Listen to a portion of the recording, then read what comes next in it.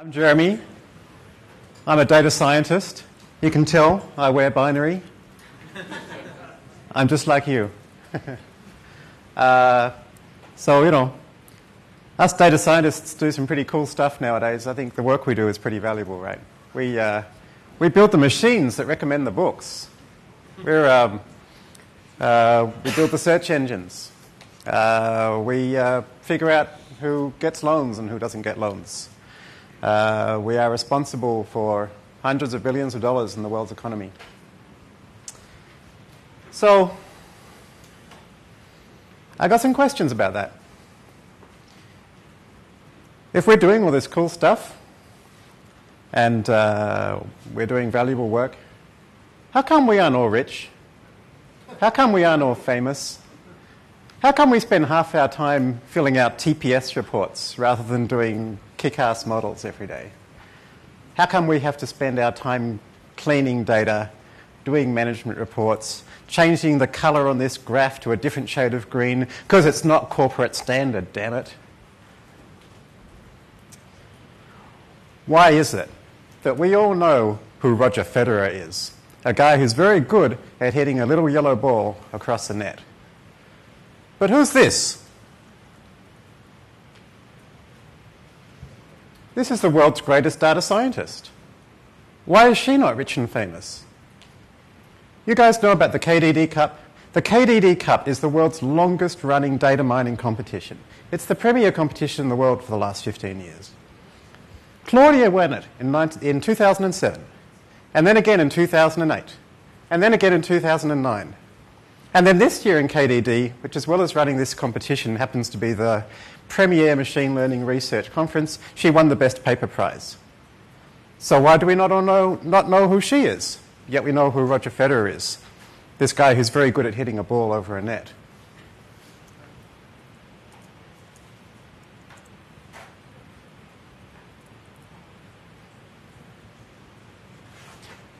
Why is it that our kids, when they're born, parents don't say, Oh, I so hope he turns out to be a great data scientist. I would be so proud. And kids, when they go to university, don't go, Yeah, what's that course you do again so I can become a kick ass data scientist?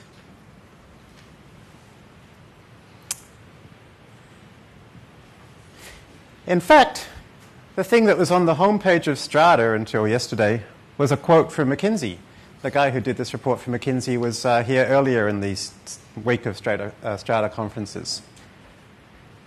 And he said that a significant constraint on realizing value from big data will be the shortage of talent. So not only are we doing important work, but there's not enough of us doing it. So surely we must be all making a hell of a lot of money, right? Well, I don't quite know why these things are not happening, but I do have a vision about the way to change this. And the way to change this is to make sure that us guys, the guys that do this work, can be valued for the work that we can do. That people can recognise the guys that can really solve the problems rather than the snake oil salesmen at big co- companies that I won't mention their names today. So I'm going to do this by virtue of a simple little example. And what I'm going to show you is that a really interesting approach called data mining competitions can solve some of the world's toughest problems faster and cheaper and better than ever before. And then I'm going to show you how using this approach we can actually change the nature of work for the data scientist and shift the technology curve up in machine learning more generally. So this simple problem I'm going to show, show you how to solve is a simple problem of mapping dark matter. So, what's dark matter? Well, in 1934, it was noticed that there was a slight problem with our galaxy. When you actually added up the amount of stuff in our galaxy, there's not enough gravity to keep it together. It should be flying apart. Now, clearly, it's not. So, they did the obvious thing and said, well, there's shit there and we can't see it, it must be dark. So, let's call it dark matter. Amazingly enough, I don't know if you saw this uh, earlier this week in The Economist. In fact, it looks like for the first time we may actually find ways of seeing this dark matter. Now, that's very exciting, and this is one big piece of the puzzle. The second big piece of the puzzle is the question of even if we can see it, where in the universe is it? Really brilliant idea was built, uh, built up by a consortium of scientists from places like NASA and the Royal Astronomical Society and the European Space Agency, where even if they can't see this stuff, they could actually work out where it is. And so let me show you quickly how this system works. So I'll use my expert drawing methods. So here's how it works, right? Um, so over here we've got the planet Earth, okay? And up here in the sky we've got galaxies. Now here's what these guys realized. Wherever dark matter is, let's say it's here, we can't see it. But we do know one thing about it, and that is that by definition it has mass. And therefore, by definition, it has gravity. And we know that gravity bends light. So here's what happens. So light comes from this very distant galaxy, hits the dark matter, and is bent. So now our telescopes here on Earth, pointing up here, will see a slightly different image. And so, whereas it started like that, it's maybe slightly sheared and slightly skewed. And so, in this way, we could actually discover exactly where dark matter is in the universe. And this is a problem of mapping dark matter. Here's the thing that makes it hard. Problem number one this telescope actually has slight distortions in the lens. It's not perfect. There is no perfect telescope. Problem number two we've got this stuff called the atmosphere which actually refracts the light as well. So there's actually a hell of a lot of noise in this signal. So I think it'd be fair to say that all the kind of a lot of the really tough work here was done by this consortium, um, but there was this key piece that was left over. So what happened was this consortium decided to run a competition to see whether they can pick up uh, one last piece of this, which is how do you find the signal in all this noise? And they decided to run a data mining competition. And uh, I was uh, lucky enough to be asked to help with this. And I knew I was in a room with some serious people when I got an email which started laying out this for me. And one of the paragraphs said, OK, Jeremy, so this is basically how we map dark matter, and this, and therefore this. And then this next section here um, uh, I don't know if Jeff's in the room, maybe he can remind me exactly what it said. It was like this, this section here uh, is a simple derivation based on general relativity, I think is what it said. And I was like, yeah, I can see that. so, something amazing happened. We ran this competition, and for the first time in my life, I saw data scientists as celebrities. Let me show you what happened.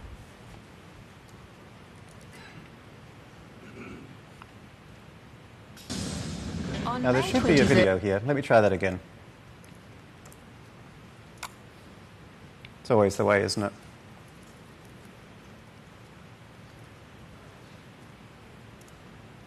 When I relax after a hard day's work, I like to get stuck into a crossword. Better and better results. Be fierce. But does Kaggle really help solve big problems? On May 23rd of this year, NASA, the European Space Agency, and the Royal Astronomical Society posted one of the great problems of our time how to map the presence of dark matter in galaxies when we can't see it. The universe is behaving a little bit oddly. It's behaving as though there's more matter uh, than we can actually observe. So the competition is to build algorithms that detect this additional matter and where exactly it is. In less than a week, a glaciologist from Cambridge had produced an algorithm that outperformed those developed in over a decade of research at the space agencies. So, Martin, how did you do it? I'm a glaciologist, and one of the things that I do is I look at satellite imagery of the fronts of glaciers in Greenland and try and monitor the position of the front of the glacier over the course of a year these images are often corrupted with things like there's clouds in the way, there might be some sensor noise, there's probably more bits of ice sitting in the fjord in front of the glacier, which look very much like the glacier. And so one of the things we have to do is guess where the glacier front position is based on these noisy images. Glacier fronts and mapping dark matter in the universe, they seem like two markedly different things. It turns out that when you're looking at an image of a galaxy far, far away, it's quite noisy. There are things in the way, there's blurring happening. It's got a lot of the same problems as working in the glaciological context. So that's uh, Martin O'Leary, and uh, I encourage you guys to check this out. It's on uh, ABC's Catalyst TV show, and uh, you can watch the whole thing about data mining competitions and some of the impacts they have. Uh, they've put it up on the web. And, you know, this is pretty exciting to me because I never seen a data scientist on TV before. Um, and, you know, this is interesting as well because it makes me think about that McKinsey quote about the lack of talent. And it makes me wonder how many glaciologists that McKinsey spoke to when they did their research about how much talent there is in this field. The interesting thing is, there's so many of us data scientists around the world hiding away in places that you don't expect to find us. And Martin Leary is one of these great examples. In fact, such was the impact of this competition, it was actually written up and posted on the White House uh, within about a week and a half of it starting. Uh, and again, you know, it's one of the very few times, I think the only time I've seen uh, data scientists quoted on the White House. So here's an interesting example of, of how data mining competitions can solve big problems and can also surface unexpected talent. Why is it that this happens? So, the theory behind this, I think, is that there are two pieces. One is about a diversity of people looking at a diversity of problems, and the second is about the competitive dynamic that forces the ego of a hardcore data scientist to want to win. And this graph actually shows both of these. Let me take you through it. This is the mapping dark matter competition over the, what was it, Anthony? Eight week period? About eight weeks that it was running. So, so here's Martin O'Leary, uh, the glaciologist. And, you know, if you think about uh, what he's describing, it, it, makes a lot of sense, right? We've kind of talked about how, how you look out into the sky, you know, at glaciers from here. What he was doing with his glaciology research is he, his telescopes are up here, if you like. They're, they're satellites. And he's looking at fuzzy glaciers down here and trying to see have from, from year to year, have they moved? Have they changed shape? So he's got the same problems. He's got this atmospheric refraction, he's got these fuzzily defined shapes, and of course there's the pixelation and the noise and the satellite. So you can kind of see how he's kind of doing the whole thing upside down, um, which I can empathise with as an Australian. Everything's kind of upside down for us. Um, and then what happened was he got passed by a couple of couple of interesting people. So after a few days, he made this big breakthrough. And a few days later, for example, this guy, Ali Hassaine, came along. Now, Ali Hassaine is a guy, again, who probably was not interviewed in the McKinsey report because he's from Qatar. And he studies uh, Arabic signatures for the purpose of fraud analysis. So his work is to say, is this Arabic signature and this Arabic signature written by the same hand? And like my drawing's not very good, so I'm going to stop drawing things for you here, but you get the idea, right? So he's looking at slight movements of features across kind of ill defined images, and it turns out his kind of algorithms also work really well on this problem.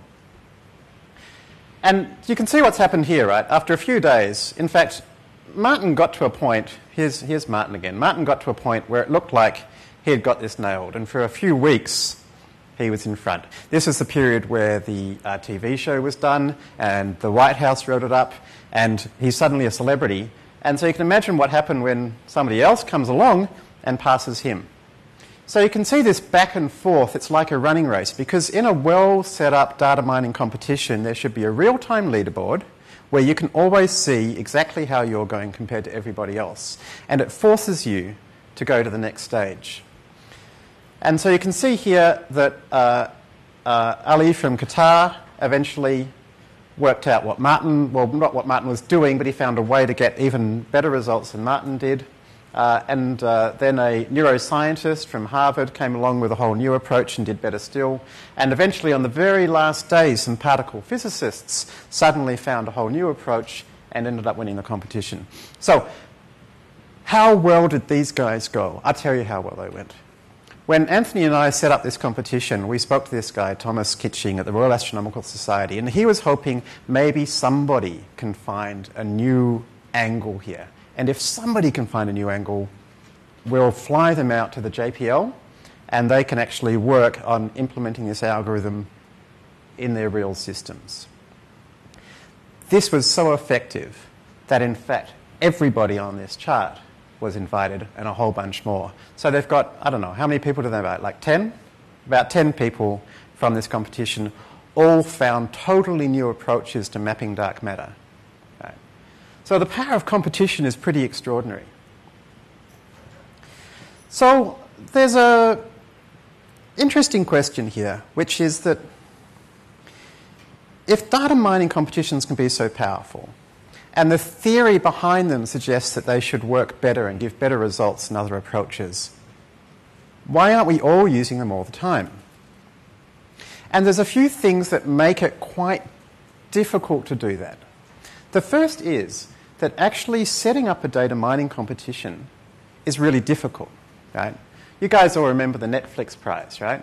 What a cool idea. $1 million prize to improve movie recommendations. What you may not realize is to set up that prize was a hell of a lot of work.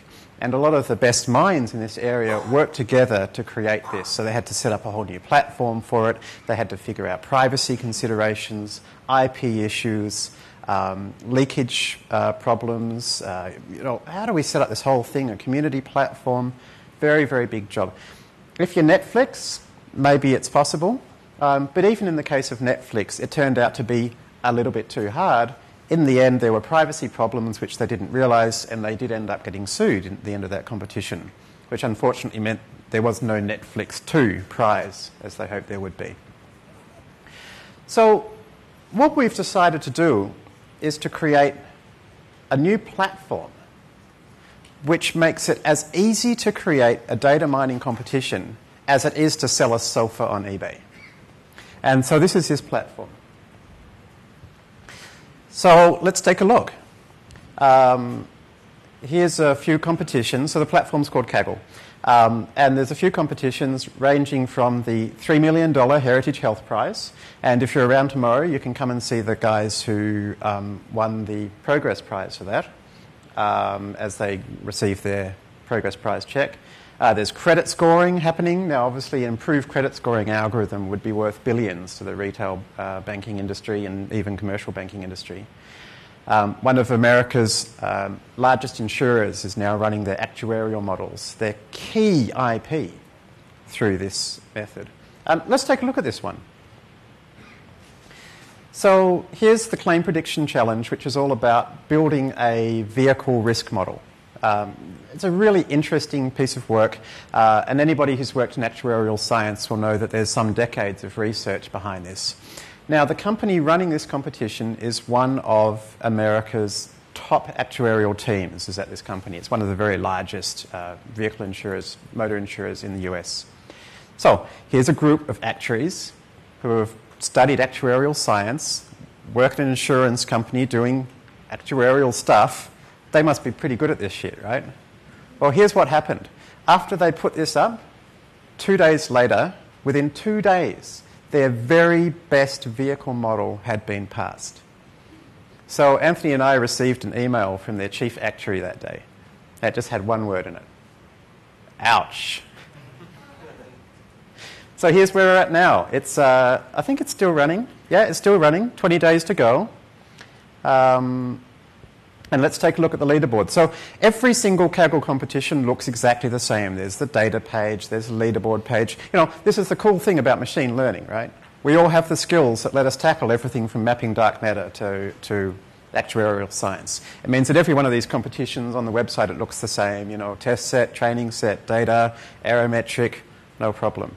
And in fact, you know, the same kind of guys that will win the dark matter competition can also go and win the uh, actuarial competition. So if we scroll down, I don't know if you're familiar with the Gini metric. It's um, linearly related to the area under the ROC curve metric. So it's basically a measure of uh, the effectiveness of a classifier. Uh, wow, it's a long way down. Here we go, finally. This is um, America, America's top actuarial team's best actuarial model would be in 21st place with a 0.07 power uh, productivity. And right now, with 20 days to go, that's nearly been tripled. So I spent uh, 10 years building a insurance analytics company, and I know exactly what that's worth. That's worth hundreds of millions of dollars, right there. How much is it costing them? Must be expensive. Wow, 10 grand.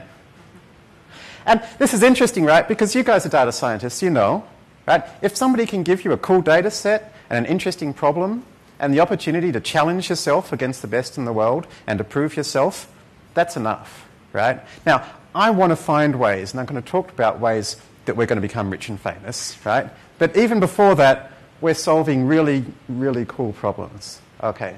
Um, so I want to talk a bit about this issue around the competitive dynamic because these leaderboards, they do something quite magic.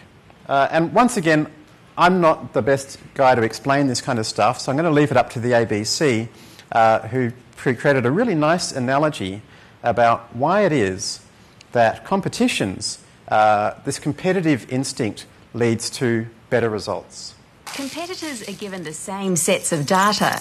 Using this, competitors try to build a data model to solve hey, look, a predictive a problem. Allowing competitors to see how their models compare to others drives better and better results. Well, Tanya, this is the leaderboard. well, when I initially started, I was about 55th, which made you think, what's does someone else know that I don't? How are you going now? So currently a third on the leaderboard. Third? Third. So you're third in the running for $3 million? Well, bad thing is the top two win the money, so I've got to try a bit harder. No, no prizes for coming third at the moment, unfortunately.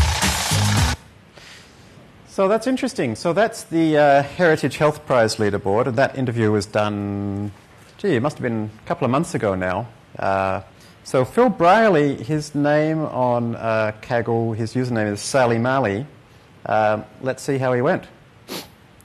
Well, as we speak, his team is now number one.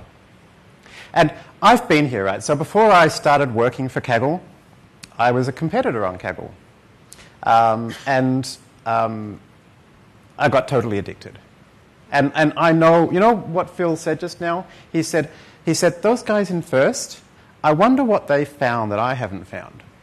And that's exactly what it feels like, particularly if initially you're leading and then somebody else passes you, and it's like, oh shit, what have they found that I haven't found? And you can't sleep until you can figure this out.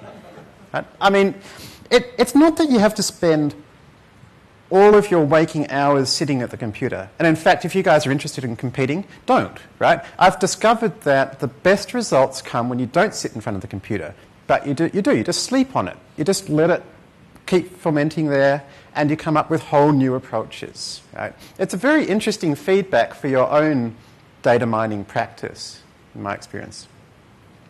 So, um, oh, and you know, by the way, if you're wondering if like it's safe for a data mining competition addict to join a data mining competition company? I don't know. but it's kind of cool.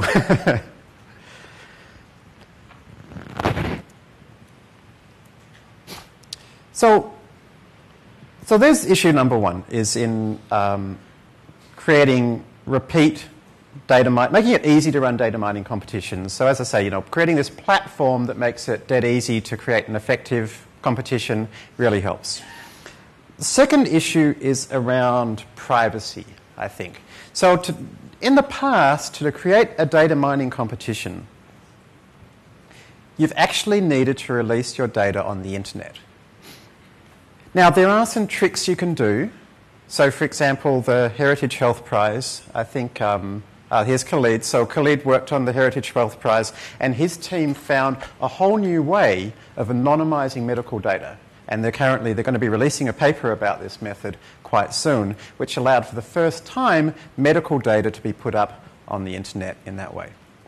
Um, the insurance company that you saw doing the actuarial models, we found a new way of doing that such that their dependent variable we basically changed it so that people are modelling the residuals of their existing model rather than modelling the actual um, car accident costs themselves. There's various things you can do, but in the end, privacy is a big issue.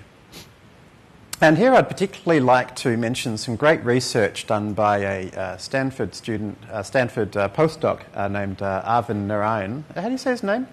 Narayanan. Thank you, Arvind Narayan. And Arvind, Arvind came up with this really great idea which is that, okay, why don't you do it this way? First of all, run a competition where you're using like synthetic data or very, very, very heavily anonymized data or some kind of meta problem. And see who does well on that, and then invite them back into a whole new competition where they kind of sign NDAs and consulting agreements and background checks and the whole thing, and then kind of the top few do the real competition with the real data. And we thought that is a really cool idea. But what if we take it one step further? We've actually now got the results of dozens of competitions. So here's the, here's the Kaggle leaderboard, if you like, as it is now, across multiple competitions. This is like the ATP tennis tour of data mining. Across multiple competitions, how are people going? And so we can now see um, who are the people that you would most want to invite to your data mining competition. And we can do even more interesting things with this. We can actually say which of the people in past competitions that have not only kicked us, but they've kicked us in completely different ways. They've actually entered solutions that are fairly orthogonal, yet both did well. And so we can now start to actually automatically generate groups of people that, if they competed together on a competition, could give the best answer whilst also maintaining privacy. So we're very creative people. We call this the private competition. So the private competition is the next stage in data mining competitions. And so what we expect to happen, we expect to see tens of thousands of these private competitions being run over the following years. Because if you think about it, data mining competitions are creating better results on problems that were previously unsolved, cheaper and faster what if we could do this for every damn predictive modelling problem that we had? Private competitions, plus the leaderboard structure we've described that allow these private competitions to be filled effectively, seem to be the secret to letting this happen. And what does that mean for people that practice the art and science of data science? Well, what it means is that when other insurance companies look at this vehicle claims model and say, oh my God, our competitors just added an extra $100 million to their profit by running this competition. We want to run one too. And suddenly every insurance company is trying to do this. And they all want access to the very best talent, all of whom has been measurably judged in the world's first true labour meritocracy. They're going to have to hike up that prize money they're going to have to be charged, you know, putting up uh, $100,000, a million dollars, and so forth until the prize money is approaching the actual value that they're getting out of this. And they won't just be able to say, oh, first place gets it all. No, they're going to have to say every single person we invite to this competition will get paid. It's kind of more like golf, right? As long as you make the cut, if you come 64th, you'll get a bit. 63rd, a bit more. 62nd, a bit more. So, in this kind of structure, you can see a whole new kind of labour market.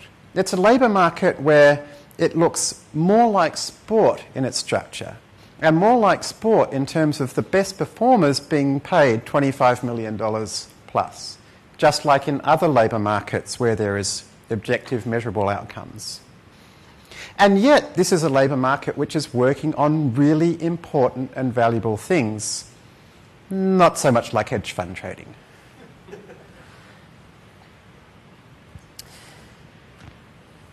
So, this is part of the solution to this big question. And, and I wanted to think more about what this world looks like. So, in this world where we've got tens of thousands of competitions running, rather than having companies, we've got guilds, leagues, whatever we call them. People that come together and work on interesting problems and appropriate problems all the time. working with the people they most want to work with, working wherever they most want to be, using the tools that they most want to use. And they can see their performance objectively. I think this is a really interesting thought because actually you can now start to think, people thinking, you know what, when I get out of university, I do want to be a data scientist.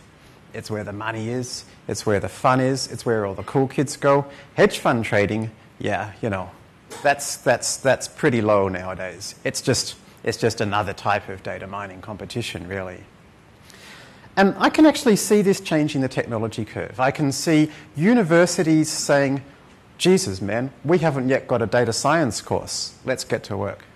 I can see, I can see people thinking, you know, I've got computer programming skills, I kind of like math. Here's a way I can apply my skills in really interesting ways.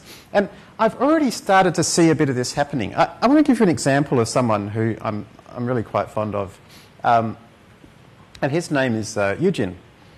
So Eu Jin is a guy who came to me uh, mid late last year, um, and I actually bumped into him at an R users group meeting, and he was at a job which he, you know, he quite liked. It was okay, but he wanted to do something more. He wanted to be a great data scientist, and he said, "Jeremy, what do I do?"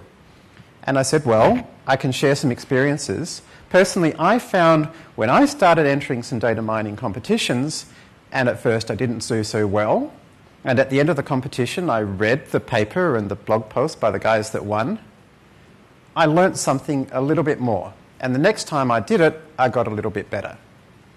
Why don't you try it too? And he did. He tried it, and he came 113th. Well, it's a start. So he said, Well, you know, what should I do next? It's like, just keep trying, learn from that experience. You know, the, the, the, the trick is here just to enter. Because every day you can enter again. And every day you can see if your score improved. And every day you're getting feedback about the techniques and the processes and the systems you're using. So over time, he quickly improved. Suddenly he's nearly in the top 10. And now suddenly he's in fifth. And then he got invited by Ali from Qatar to join a team with him on the Mapping Dark Matter Challenge. And together they came third. And now he's been invited to the JPL to help them find dark matter. So this is so exciting because this is a kid who's, who's, you know, he's a reasonably recent graduate. Uh, he's got brilliant skills. But if it wasn't for this, nobody would have known what he can do. And in fact, because of, partly because of his success in competitions, he got a fantastic job. He's now working at Deloitte's in Deloitte Analytics, one of the premier analytic teams in the world. Not only that, Deloitte saw the power of this and they went, oh, yeah, that's cool. We're going to run a private competition. So they ran a private competition for all 170,000 of their staff were invited to join to find out who were the best Deloitte analysts in the world and Eu Jin came second. So everybody in Deloitte's globally now knows this kid in Melbourne and knows he's one of their stars. And this is what happens in a real meritocracy. There's no snake oil. There's no bullshit. So, in terms of how does this look? I think there will still be the public competitions, there will still be the Heritage Health Prizes and the Mapping Dark Matter Challenges. They're important for so many reasons. For one thing, they're the way that people get started. Not everybody can be invited to play in Wimbledon right away. Roger Federer won't play me in tennis, right? You've got to earn that. So you can start on Kaggle and you can start on the simpler competitions. Some are going to be free, some are going to be quite low prize money. Or you can just uh, tackle competitions which we've actually run in the past, and it'll say, hey, had you entered this, this is how you would have gone. So you slowly build up the profile. But it's not that you have to impress anybody with, with your style. As soon as you do well, everybody knows who you are. As soon as you do well, our systems know who you are, and we will start inviting you to these really exclusive competitions. And this is the vision I have for how data scientists will be truly valued for the first time. Thank you.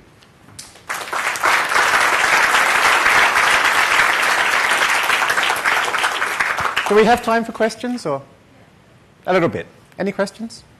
I was just wondering. Um, Roger Federer is probably not going to build a better racket because, to uh, play better, but data scientists might build better tools in the process. So, and I was wondering, has there been any stories of people doing table competitions and then making really cool tools to do it and then releasing those tools? Yeah, yeah, no, absolutely. Um, but frankly, at this stage, we, we at Kaggle have to work harder on providing the platforms to make that easier. Um, so up until now, we've been a tiny little company, um, and over the next few months, you're going to be hearing a lot about us um, because we've just got a bunch of funding and we're going to be hiring a whole bunch of people and doing a whole bunch of things. And one of the things I'm most excited about is the stuff we're going to be doing around kind of uh, community and infrastructure development. So we're actually going to be developing things like machine learning libraries. And so these tools that get built as a result of these competitions, currently they mainly live as papers on our blog or as descriptions. Um, you know, sometimes people will post the code, but we haven't particularly provided a place for them to put it or a way to search it or whatever. So, you know, there's been interesting breakthroughs made.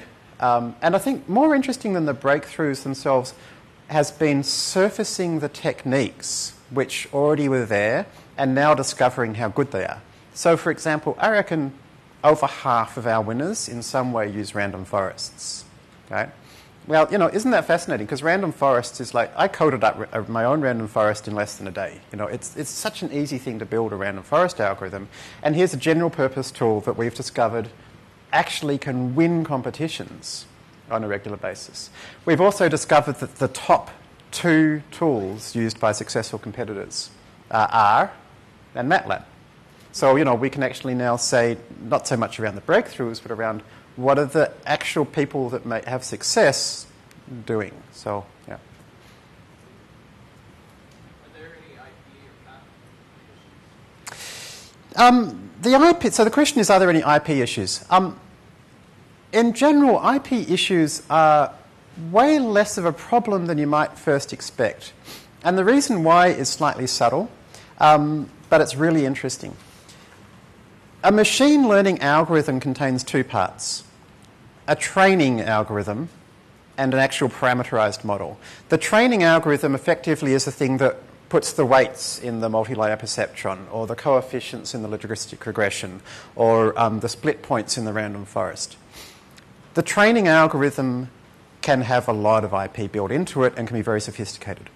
The thing that it builds is like take a logistic regression. It's just multiply these things together and add them up and stick them through a sigmoid function.